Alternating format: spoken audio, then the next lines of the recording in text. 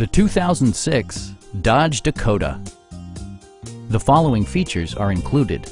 Delay off headlights, front and rear cup holders, variably intermittent wipers, a rear step bumper, and one-touch window functionality.